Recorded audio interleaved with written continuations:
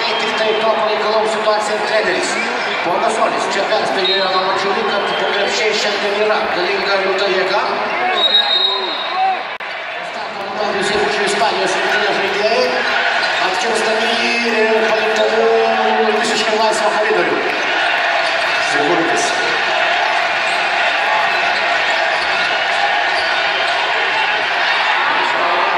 Varžovų yra kas, sėkmingai ispanų pradžia kol kas. Sergio Jūras, tačiau Jonas Kalnietis, Lieka prie jo. Ogasonis. Įrodė šiame čempionate, kad gali pataikyti ištorę ir štai kaip surasti komandos draugus, Rudy Fernandes ir Ispanijos persvarą iki lietuvių. Kol kas problemos ginantis. Nesugaudom ispanų komandos žaidėjų manevrų, lieka laisvi arba pasinaudodami užtvaromis e, atakuoja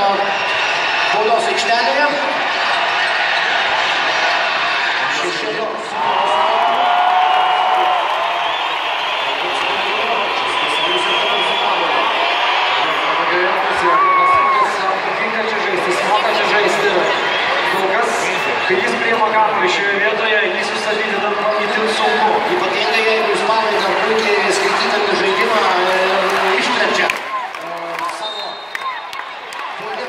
toli nuo finišo linijos, palikdami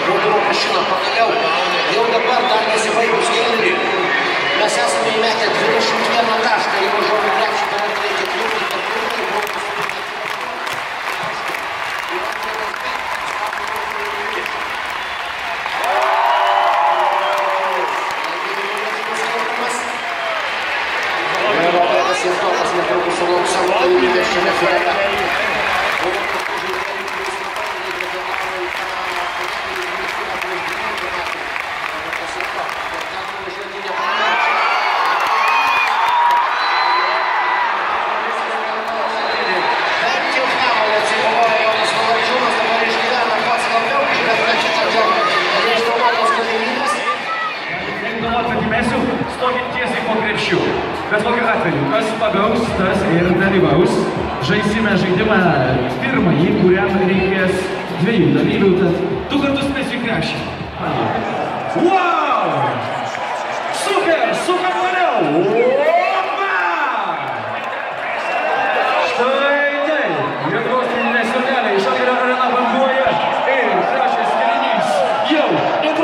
Sinaliai!